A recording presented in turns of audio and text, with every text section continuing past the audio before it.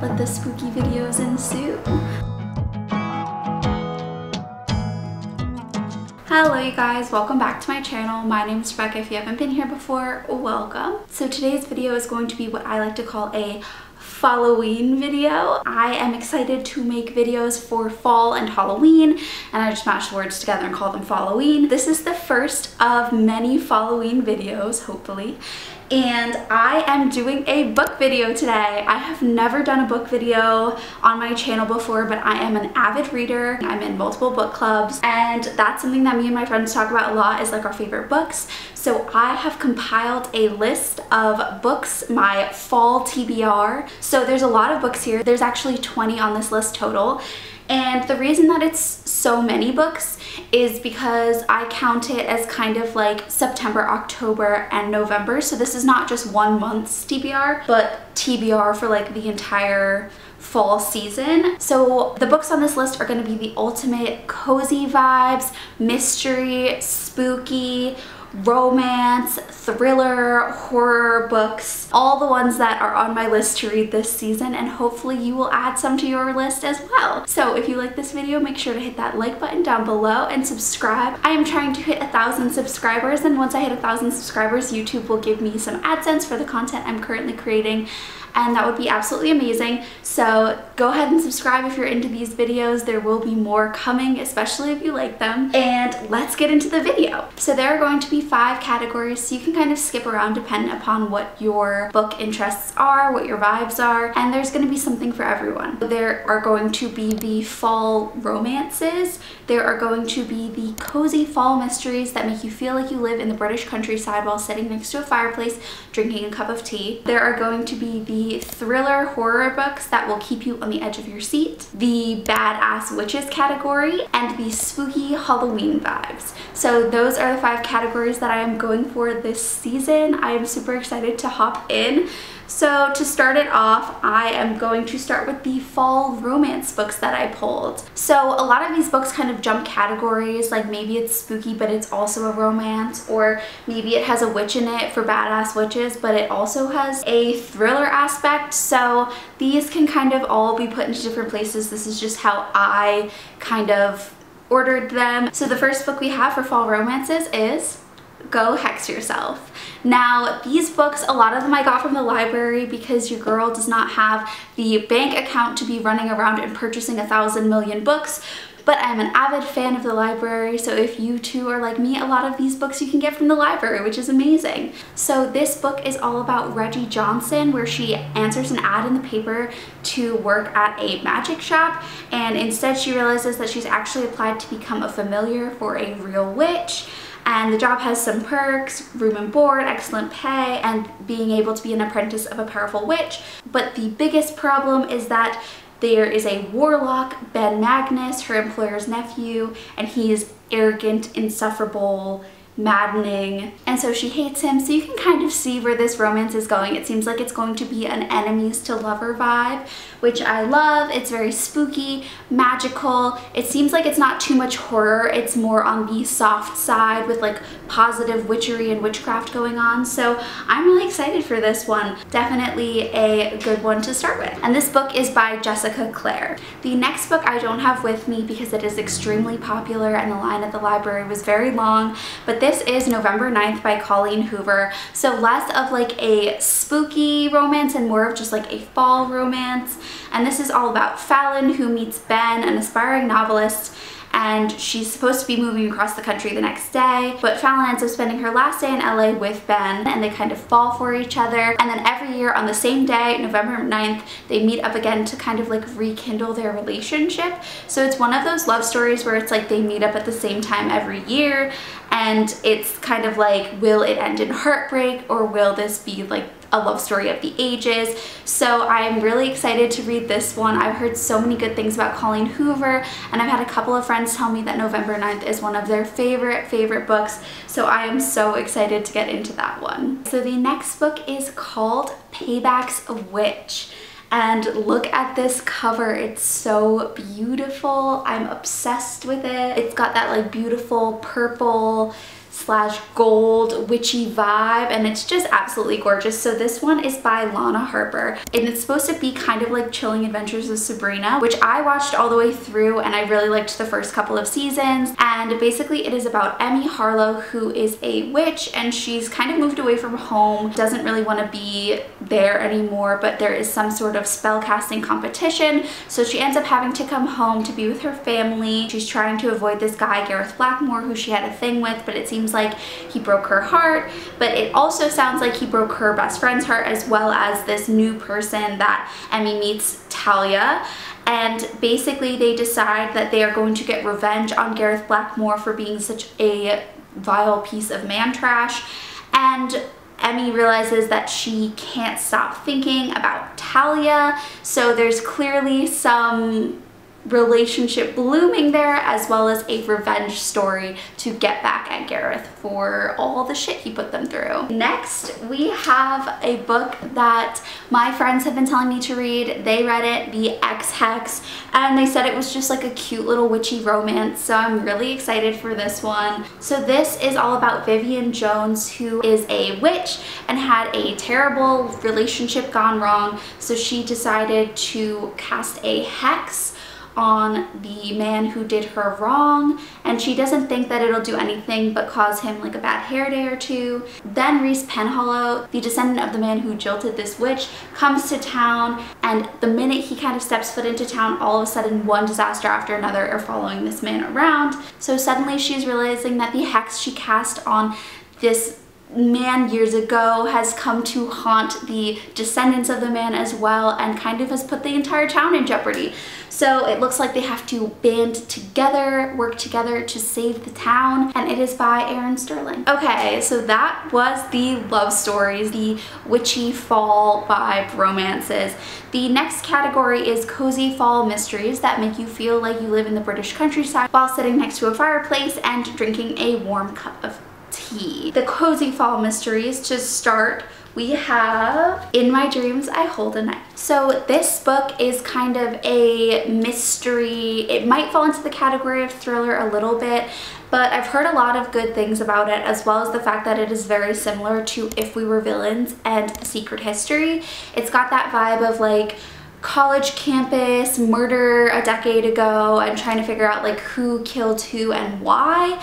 So it says that Jessica Miller is returning to campus and basically one of her friends died years ago and someone is not gonna let this murder go and is determined to figure out who did it. So it's kind of like a dark academia spooky mystery vibe and I think it's gonna be a lot of fun. I absolutely loved If We Were Villains. It's one of my favorite reads of my entire life and I read it this year and gave it five stars so I'm obsessed with it but I think this one is going to be really great. I'm looking for more books that are like If We Were Villains so if you read any and you have any suggestions drop them in the comments down below. I love a book suggestion. This one is by Ashley Winstead. Next we have The Seven and a Half Deaths of Evelyn Hardcastle by Stuart Turton and I am currently reading this one right now. It is really good. It is all about a Groundhog Day-esque scenario where this person has to live the same day over and over again until they figure out who murdered Evelyn Hardcastle. So the whole idea is that each day he lives the day again from a different perspective and he gathers more and more information to figure out who the murderer is. And I've heard that there's some pretty big twists and turns in this one. The next book we have I'm so excited about this one. And Then There Were None by Agatha Christie. I'm a massive Agatha Christie fan. I absolutely love her work. I have read her first three or four books and I am obsessed with them. So this one is a standalone novel and most of them you don't need to read in order but this one specifically is a standalone novel. So yeah, this book is about 10 people who were summoned to a weekend at this private island, but the host is nowhere to be found. All the guests have something in common that they're unwilling to reveal, and they're basically trying to figure out who the murderer is as one by one people start dying. So this one is a classic. People are obsessed with And Then There Were None and I think it's going to be a great book. Next, we are on to thriller horror books that will keep you on the edge of your seat. So first up we have the Final Girl support group. So this is by Grady Hendrix and basically this is almost like a parody of the Final Girl in the movie, the one who survives all of these slasher-esque killings and this is a support group for final girls. So all these final girls, the ones who survived the horror stories, horror movies, esque scenarios. They meet in this group to talk about their trauma and all of a sudden one of them goes missing and so they have realized that someone knows about their support group, knows about the final girls and is trying to take them out one by one and basically like how they survive this secondary horror movie that they've been launched into. So next we have Lock Every Door by Riley Sager. I've heard that Riley Sager is like a really great novelist and they do a lot of really great mystery novels so I think you could probably pick any of them up and really enjoy them, but they're definitely more thriller, scary, horror vibes.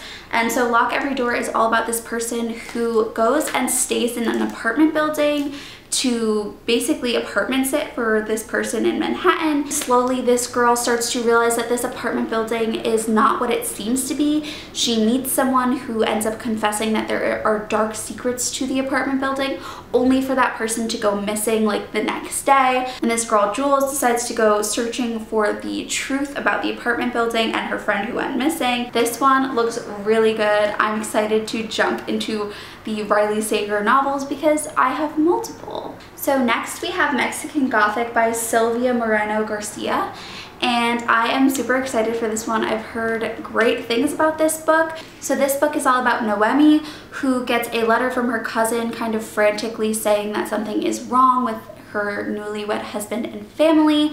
So Noemi goes to take care of her cousin and check it out and is kind of launched into this world of this like hierarchy in this home and the secrets that the family is keeping and that they hold. So I think it's going to be really interesting. It's kind of like it's I feel like it's kind of similar to Lock Every Door in the sense that it's like the building is holding secrets and she's trying to figure out what's going on and whether or not she can even escape. And the last book I have in the thriller slash horror category is another Riley Sager novel called Final Girls, which is, you know, ironic because we have the Final Girls support group and when I bought this one I didn't know I would be getting this one from the library. I think they are going to be relatively similar but this one is less about a support group and more about an individual who survived a horror movie-esque attack and is one of the final girls, only to realize that the two others that she's never actually met before but she knows of these other final girls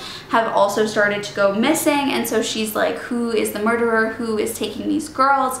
So I will let you know if these are super similar. I know that this is like very similar vibes similar color scheme similar horror-esque. But if I like one maybe I'll really like the other or maybe one will be like top tier and one will fall flat so we don't know I will definitely let you know once I finish them I don't know why I said that was the last one. We have a couple more. Okay, so the next one we have is called Plain Bad Heroines. This book is about a school for girls where girls keep going missing and dying and there is a woman who writes a story about the history of the school years after it closes down and they decide they're going to do a movie adaptation of the horrors that have happened at the school.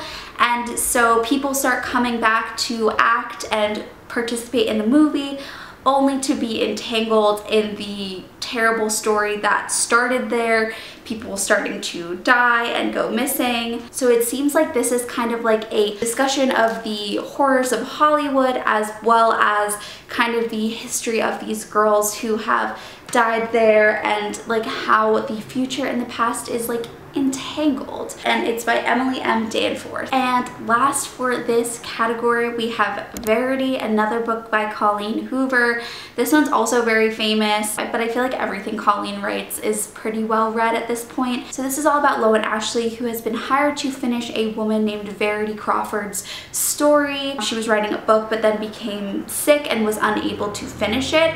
So Lowen comes to their home to basically look through her notes and see what like where the book was going and start writing only to find a unfinished biography that Verity never intended anybody to read. And basically it's kind of a messed up romance story because Lowen seems to really be interested in Verity's husband Jeremy and so Lowen is trying to figure out if she should give this manuscript to Jeremy to see if he would leave his wife. So it seems like a very tangled love story. I've heard a lot of good things about Verity and I think it would be really fun to read. So the next category we have is Badass Witches and this was kind of a category I created for books that were about witches but were less about romance and more about women just being powerful. And so the first book in this group is We Ride Upon Sticks by Quan Barry.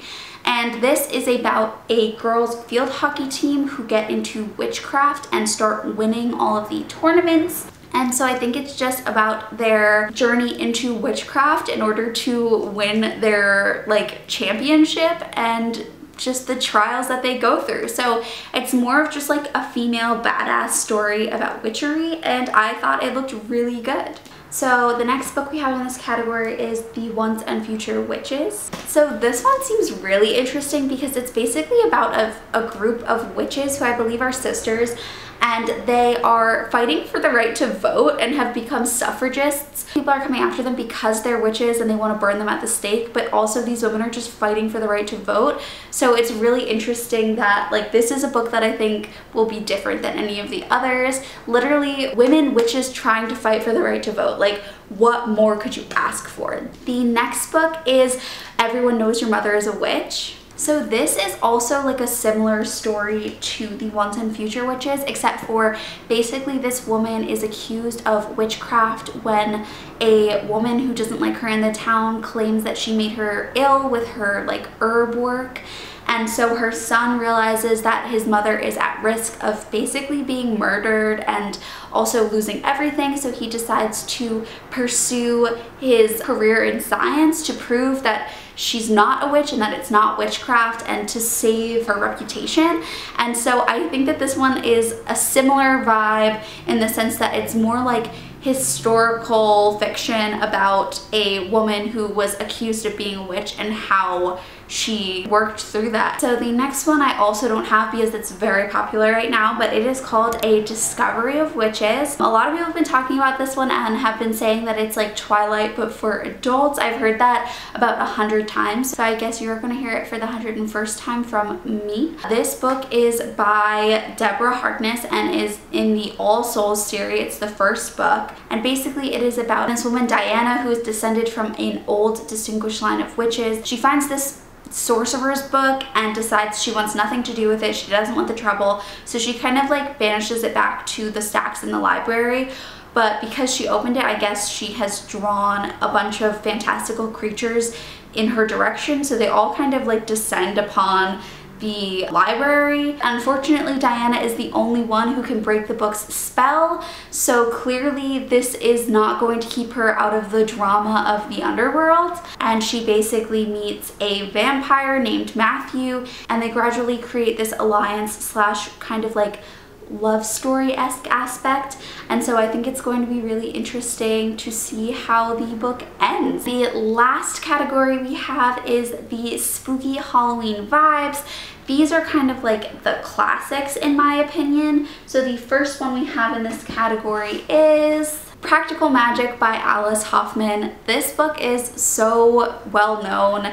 It is a movie, but I've never read the book. I wanted to see what the hype was for myself. This is all about two sisters who are witches, but their family was cursed a long time ago. So basically the men that they love end up dying. And so it kind of goes through their adolescence into adulthood when they are meeting men and falling in love and the crazy things that happen afterwards and how they deal with it. There is some witchcraft, there are some crazy ants, there is some bringing people back to life, and also maybe the breaking of a spell that's haunted them for decades and decades. This one is a classic. Alice Hoffman is a great writer and I think it is going to be amazing. The next book I have is October Country by Ray Bradbury. Like, look at this book. It's like one of those like old copies It's got the tan binding and this like ancient looking cover with the artwork on the front. Ray Bradbury is one of my favorite writers. I read Fahrenheit 451 when I was in school and it is to this day one of my favorite books. I absolutely love it. So I'm so excited to read October Country. So this is a collection of spooky short stories, basically perfect for the October Halloween time of year. It covers a lot of different creepy crawly things and I think it's just supposed to be a great fall read. I've heard a couple couple of people say that like this is a classic. They absolutely love it to read it every single year. And I think it's gonna be so much fun, just like easy to get through. I mean like short stories are always kind of easy to pause on, easy to get through. So I think it's going to be just as spooky as everyone says. Ray Bradbury is just amazing at that kind of thing. This like, this just this discomfort that he can create through his writing. And I think this is going to be awesome. And the last book I want to talk about is Hocus Pocus. I don't have it with me, but I do own it. It's at my parents' house. It is such a quirky, easy, fun Halloween read. It is obviously based off of the movie, and the version that I have also has the part two, and that is the new movie that's coming out this year. So if you want to get a little sneak peek of what the new movie is going to be about, you can get the Hocus Pocus book. It's like really thick thick, but it's super easy to get through. It's cute. I like to put it up on my desk to have it more as like a display, but I read it last year and I absolutely loved it and I want to read it again this year or maybe listen to it via audiobook. It's just kind of like the perfect classic Halloween read. Just like you watch Hocus Pocus every year, I'd love to get into the habit of reading it every year. And I think it's great if you like have kids or you have like younger family members you can read it to them out loud as like a bedtime story. It is really really really cute and the book is just beautiful. And with that that is all the books that I have on my fall TBR my Halloween TBR I am so excited to get into the fall cozy spooky season with you all. I absolutely love reading, I love books, and I love fall, so expect more content like this. Let me know if you add any of these to your TBR list. Let me know if you have any suggestions of books you think I should read this fall. If you like this video, make sure to hit that like button, subscribe, hit the bell notification, all those YouTubey things. Thank you so much for watching this video, and I will see you guys next week with another one, another Halloween seasonal video. Bye! face, brown eyes, roots in my apartment. And we grew, passed by, plans were always falling.